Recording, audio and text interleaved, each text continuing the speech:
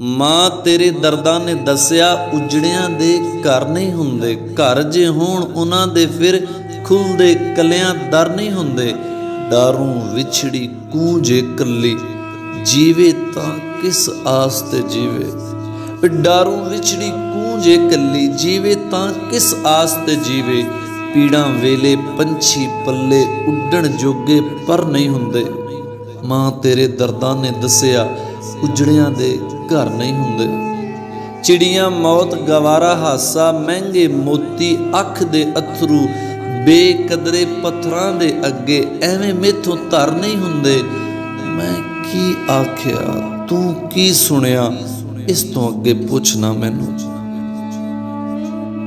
ਮੈਂ ਕੀ ਆਖਿਆ? ਤੂੰ ਕੀ ਸੁਣਿਆ? ਇਸ ਤੋਂ ਅੱਗੇ ਪੁੱਛਣਾ ਮੈਨੂੰ।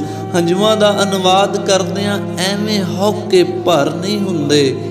ਪੀੜਾਂ ਦੇ ਇਹ ਢੇਰ ਪੁਰਾਣੇ ਸਿਖਰ ਚੋਟੀਆਂ ਵਾਲੇ ਪਰਬਤ ਤੁਰਨੋਂ ਪਹਿਲੋਂ ਥਕਿਆਂ ਕੋਲੋਂ ਸਾਰੀ ਉਮਰਾਂ ਸਰ ਨਹੀਂ ਹੁੰਦੇ।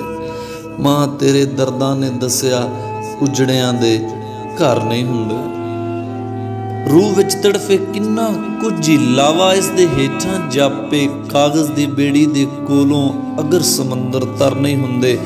ਆ ਜਾ ਸੁਰਤੇ ਗਾਗਰ ਕਰੀਏ ਪਾਈਏ, ਬਾਤ ਹੁੰਗਾਰਾ ਭਰੀਏ। ਰੂਹ ਤੋਂ ਰੂਹ ਵਿਚਕਾਰ ਦੇ ਪਿੰਡੇ ਦੋ ਚਿੱਤੀ ਵਿੱਚ ਕਰ ਹੁੰਦੇ। ਮਾਂ ਤੇਰੇ ਦਰਦਾਂ ਨੇ ਦੱਸਿਆ, ਉਜੜਿਆਂ ਦੇ ਘਰ ਨਹੀਂ ਹੁੰਦੇ। ਘਰ ਜੇ ਹੋਣ, ਉਹਨਾਂ ਦੇ ਫਿਰ ਖੁੱਲਦੇ ਕਲਿਆਂ ਦਰ ਨਹੀਂ ਹੁੰਦੇ। ਮਾਂ ਤੇਰੇ ਦਰਦਾਂ ਨੇ ਦੱਸਿਆ, ਉਜੜਿਆਂ ਦੇ ਘਰ ਨਹੀਂ ਹੁੰਦੇ।